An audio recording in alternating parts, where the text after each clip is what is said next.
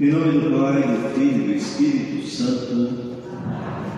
Irmãos, que a graça de nosso Senhor Jesus Cristo, o amor misericordioso e eterno de Deus, nosso Pai, comunhão, alegria, força e a consolação do Espírito Santo esteja convosco. Rezamos de maneira especial por João Marcelino Marcão Casaca, falecido hoje, Arlindo Simões Martins, José Aristides Roque Pérez, José Augusto César, sogros, pais e irmãos, Luiz Antônio Duarte Fino, Manuel Marques, Manuel Vassal e família, Marina da Graça Honória e Belmira Carvalho Vicente, pelas almas do purgatório. Celebramos também hoje o Dia Mundial dos Meios de Comunicação Social. Rezemos pela nossa comunicação. Pela paz, pelas vocações, pelas jornadas mundiais da juventude, seus símbolos estarão entre nós aqueles dias. Pela melhora dos doentes também nas nossas intenções particulares.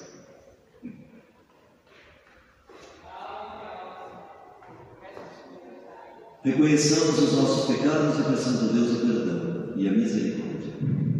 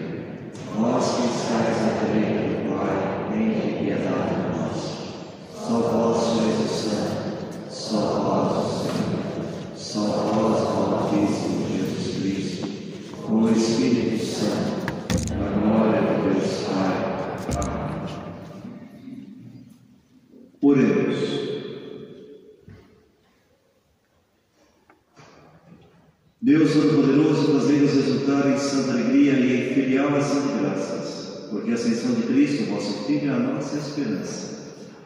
Tendo-nos precedido na glória como nossa cabeça, aí nos chama como membros do seu corpo. Ele que é Deus e convosco vive e reina na unidade do Espírito Santo por todos os séculos dos séculos.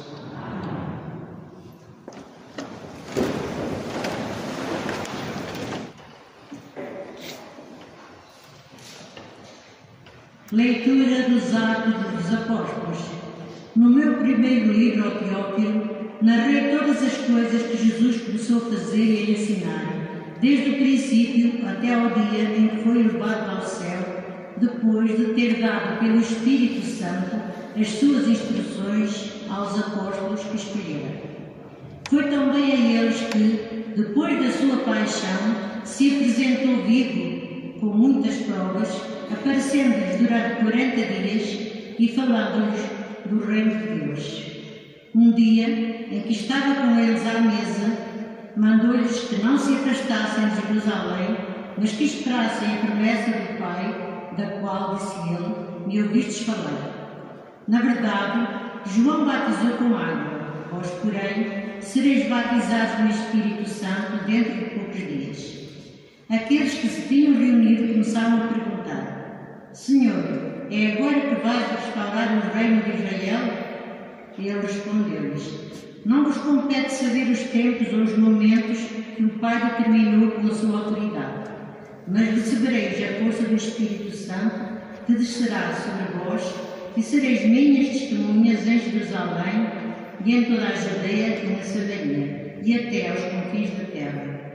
Dito isto, elevou-se à vista deles e uma nuvem escondeu a seus olhos. E estando de olhar fito no céu, enquanto Jesus se afastava, apresentaram-se os dois homens, vestidos de branco, que disseram: Homens da Galileia, porque estáis a olhar para o céu? Esse Jesus que do meio de vós foi levado para o céu, virá do mesmo modo que o vistes ir para o céu. Palavra do Senhor.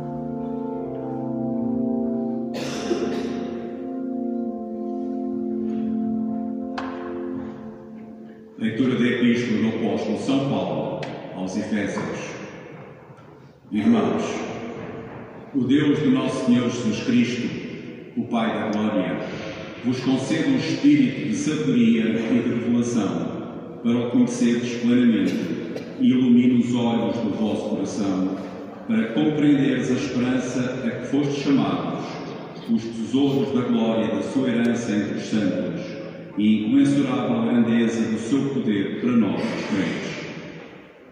Assim o mostra a eficácia da poderosa força que exerceu em Cristo, que ele suscitou dos mortos e colocou à sua direita nos céus, acima de todo o principado, poder, virtude e soberania, acima de todo o nome que é pronunciado, não só neste mundo, mas também no mundo que há.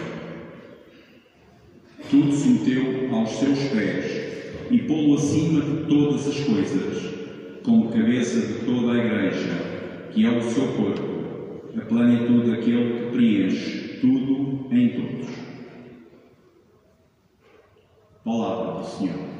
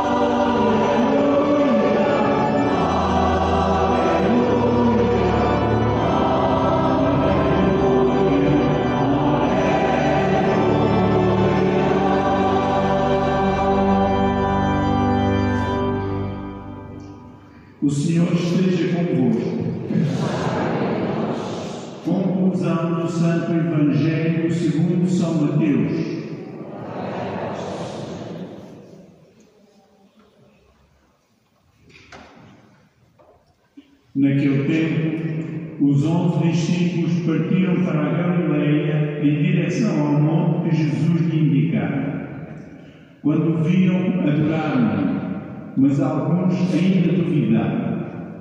Jesus aproximou-se e disse-lhes: Todo o poder foi dado no céu e na terra. Ide e ensinai todas as nações, batizando-os em nome do Pai, do Filho e do Espírito Santo, ensinando-os a cumprir tudo o que vos mandei. Eu estou sempre convosco até ao fim dos tempos. Palavra da salvação.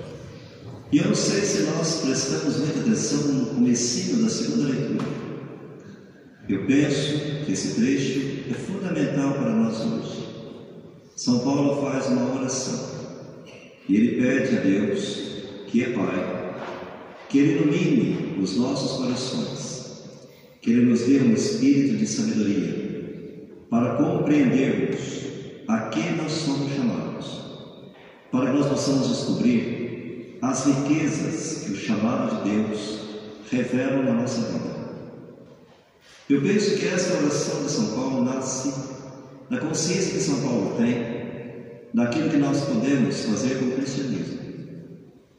Muitas vezes nós fazemos do cristianismo uma religião chata, de ritos vazios, desligados da nossa vida e que não nos, não nos leva a lado nenhum. Mais uma vez, mais uma missa, mais uma linha, e de novo. E às vezes, quando aparecem dificuldades sofrimentos, somos mais resignados do que resilientes. Somos mais tristes do que animados. Por isso, irmãos, não existe nada pior do que transformar a riqueza do cristianismo, a grandeza do chamado de Deus, em algo difícil, penoso, triste, enfadonho. Talvez seja esse o grande chamado que Deus faz à nossa geração. De sermos testemunhas de que o chamado de Deus transforma as nossas vidas, nos dá nos anima, nos encoraja, nos dá alegria, não nos priva das dificuldades, mas nos dá discernimento, nos dá sabedoria. Quem sabe esse seja o grande chamado para que toda a igreja experimente um reflorescimento, o ardor da juventude, a experiência do primeiro amor, algo que nos mova de dentro para fora, algo que nos faça desejar viver a nossa fé. Mas nós precisamos saber o que nos levará à experiência de fé. Por isso também, a primeira leitura, Atos dos Apóstolos, São Lucas, que é o mesmo autor do Evangelho de Lucas, ele escreve a Teófilo. Teófilo não é um nome comum. Teo significa Deus, filo, amigo. Quem é Teófilo? Quem é chamado a ser Teófilo? Eu, você, cada um de nós. Essa é a terminologia que Jesus usa com relação aos seus discípulos. Ele diz: Não vos chamo servos, vos chamo amigos. E sabe por que é tão importante ser amigo de Deus? Porque se nós queremos conhecer a Deus, só existe uma via do verdadeiro conhecimento, que é a via do amor. Por isso, amigo, é aquele que entra no meu coração, é aquele que abre o coração para que eu possa entrar, é aquele que não tem que pedir licença, é alguém em quem eu confio, é alguém que se entrega por mim, é alguém que eu sinto próximo de mim. Portanto, a experiência de Deus é uma experiência de amizade, é uma experiência de comunhão. Nós não podemos reduzir a experiência de fé a algumas verdades que acontecem aqui. Nós não podemos resumir o conhecimento dos irmãos, o conhecimento da outra pessoa, algumas informações que nós recebemos aqui. Nós só conhecemos verdadeiramente quando existe uma relação de amor e de amizade. E é por isso que o Senhor nos chama a sermos amigos de Deus. E é por isso que Jesus nos chama sermos amigos. Porque Ele quer nos revelar aquilo que Ele tem de tão importante, capaz de transformar as nossas vidas. E sabe o que é capaz de transformar as nossas vidas? Saber o que nos espera. Quando eu sei qual é o meu destino, eu sei como caminhar para chegar a esse destino. E por isso hoje essa festa é tão importante. Jesus volta ao Pai. E nós podemos dizer, Jesus, por que o Senhor está voltando para a casa do Pai? Afinal de contas, o Senhor não gostou de estar aqui entre nós. E nós poderíamos com toda razão dizer, é Jesus, você tem razão de voltar, e Deus ama. E por isso ele diz, eu não volto à casa do Pai, não é porque fui maltratado pela humanidade, volto à casa do Pai para levar comigo a humanidade. Por isso, Jesus volta e não volta simplesmente Deus. Porque, sendo Deus, ele se fez homem. Feito homem, não deixou de ser Deus, mas assumiu a nossa humanidade. Em Jesus convivem harmonicamente e perfeitamente as duas naturezas, a humana e a divina. Agora você conhece a natureza humana de Jesus? Qual é a humanidade que volta ao céu? A humanidade que Jesus leva ao céu. Sabe qual é a humanidade de Jesus? É aquela que tocou o leproso e o curou. Aqueles que eram rejeitados, que eram colocados fora da sociedade, Jesus os tocou e eles foram curados. Aquele que não enxergava, e Jesus, por compaixão, demonstrou a sua humanidade, reabrindo os olhos do céu. Sabe qual é a humanidade de Jesus? É aquela humanidade que se compadeceu da adúltera que estava para ser apedrejada e disse: Quem não tiver pecado, atire a primeira pedra. Essa é a humanidade de Jesus, que chorou a morte do seu amigo Lázaro. Jesus que se entristece. Jesus que participa de uma festa e vê que o vinho falta e por isso ele realiza um grande milagre, transforma água em vinho. Jesus, na sua humanidade, é aquele que toca o nosso coração. Por isso, irmãos, há que pensar: o que é que nos torna humanos? Não é a racionalidade, é mais do que isso. Porque às vezes, com tanta racionalidade, somos capazes de construir armas que destroem, que matam, que ferem. Quando eu, quando você, quando nós olhamos pela televisão as cenas das guerras, nós nos perguntamos: que humanidade é essa? Quão desumano estamos sendo nós? Quando falo mal da vida do outro, denigro, espalho, murmuro, fofoco, quando sou egoísta, quando julgo, quando excluo, quando condeno, quando minto,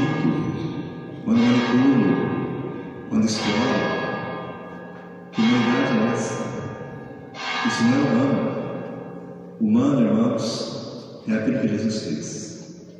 Compadecer-se, amar, vencer barreiras, romper distâncias, considerar aqueles que não eram considerados, escutar aqueles que nunca foram escutados, amar aqueles que nunca se sentiram dignos de amados.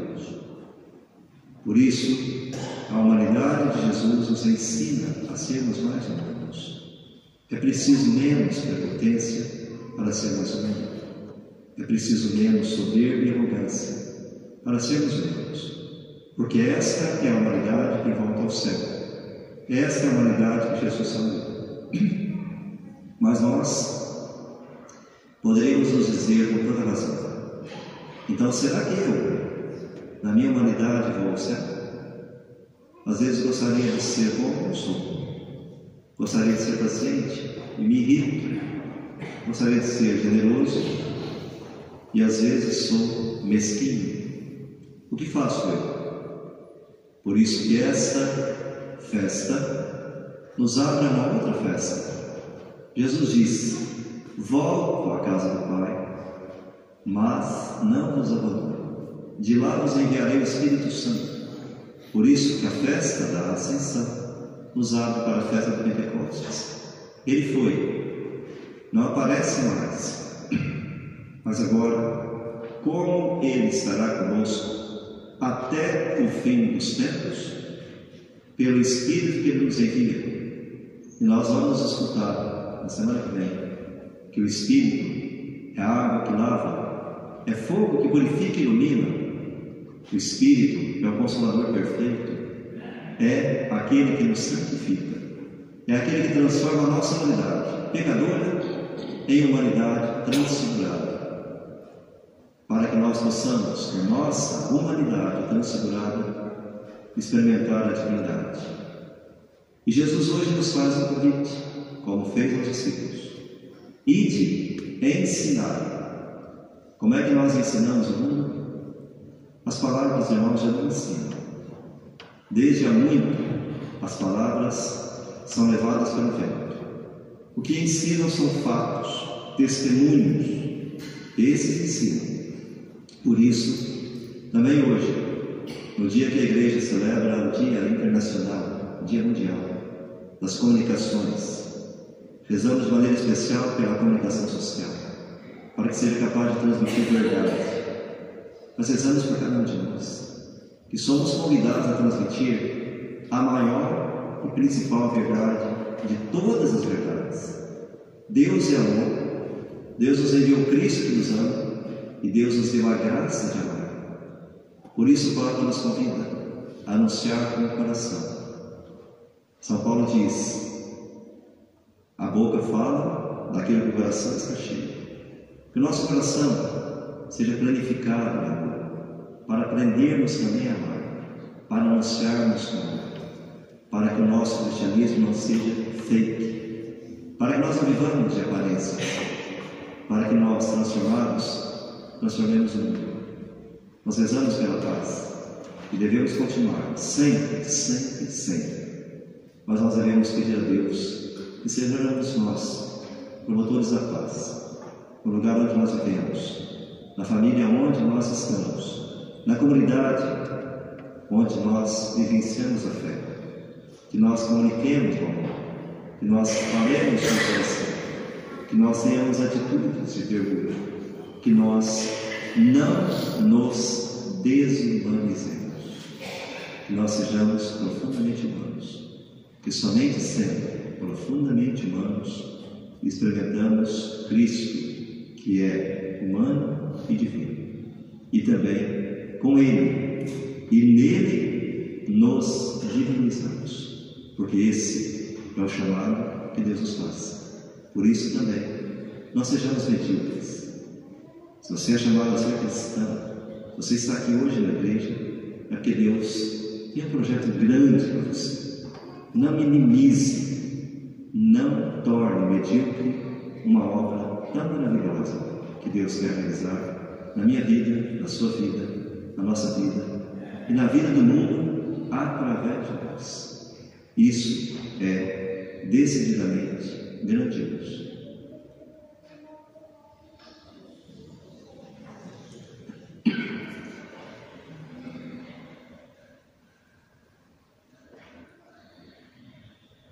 Creio em um só Deus,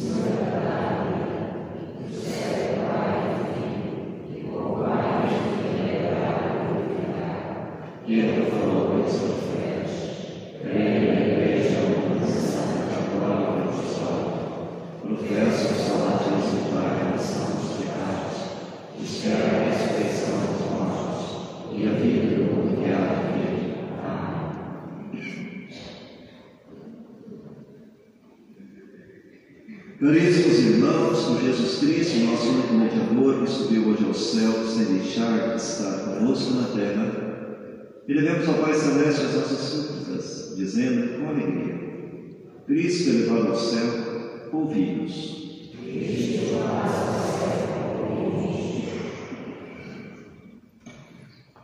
pelas igrejas do Oriente e do Ocidente, do Norte e do Sul, para que sejam fiéis à missão que receberam de anunciar a palavra em toda a terra, oremos. Cristo elevado ao céu, ouvi-nos. Pelo Papa Francisco, pelos bispos, presbíteros e diáconos, para que sintam que Jesus está com eles, quando ensinam e batizam em seu nome, oremos.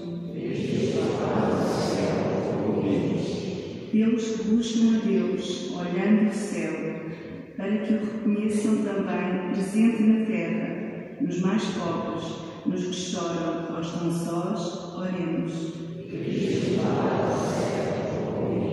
Por aqueles que não conhecem a Cristo, para que a luz da fé os ilumine e recebam o batismo no Espírito Santo, oremos. Por todos nós aqui reunidos em Assembleia, para que Deus nos chame um dia a contemplar o seu Filho Jesus Cristo na glória eterna, oremos.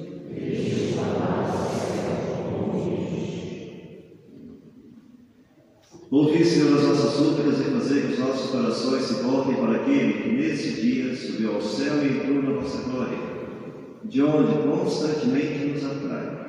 Ele que vive e reina por todos os séculos dos séculos.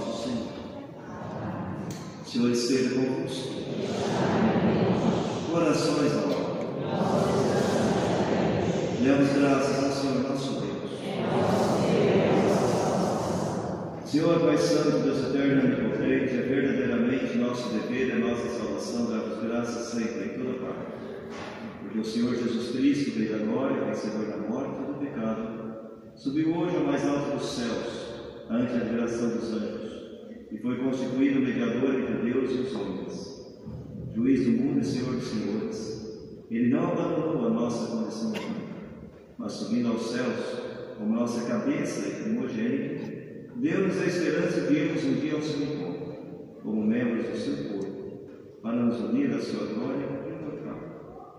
Por isso, na plenitude da alegria pascal, exultam os homens por toda a terra, e com os anjos e os foros celestes, proclamam a vossa glória, cantando no nosso voz.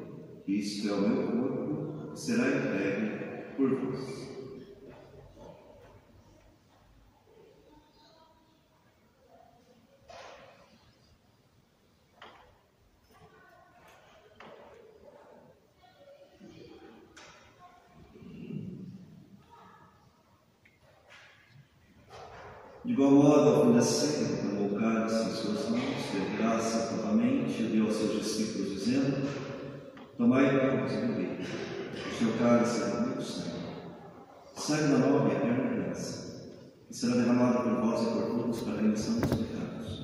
Fazei isso em memória de mim.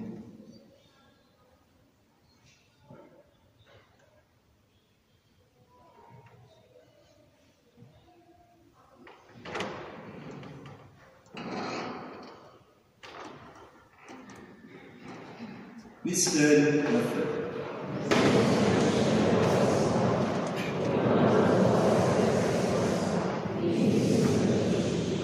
Celebrando agora a Senhora memorial da morte e ressurreição do vosso Filho, nós oferecemos o pão da vida e o cálice da salvação.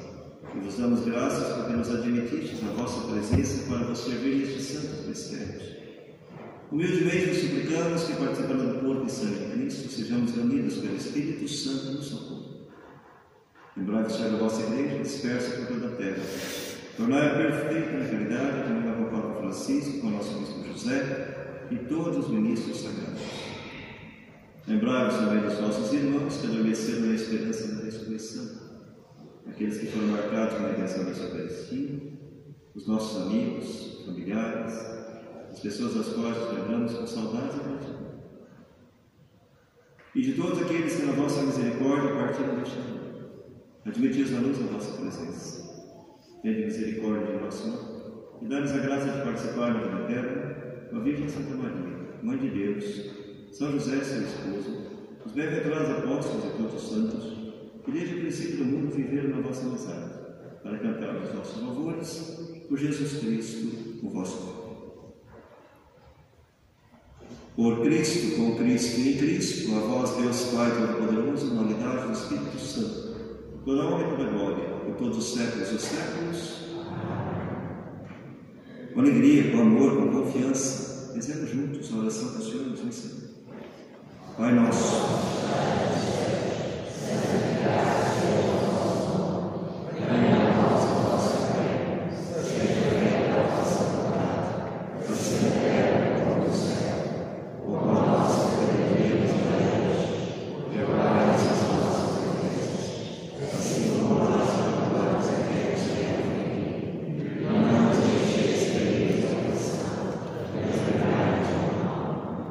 Livrai-nos de todo mal, Senhor, e dê ao mundo a paz em nossos dias, para que, ajudados pela vossa misericórdia, sejamos sempre livres do pecado e de perturbação. Enquanto esperamos a vinda gloriosa de Jesus Cristo, nosso Salvador. Senhor Jesus Cristo, que disseste aos nossos apóstolos, deixe-nos a paz, dá-nos a minha paz. Não olheis os nossos pecados, mas a fé da vossa igreja.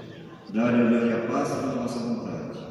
Vós que viveis e reinais pelos séculos dos séculos, a paz do Senhor esteja convosco.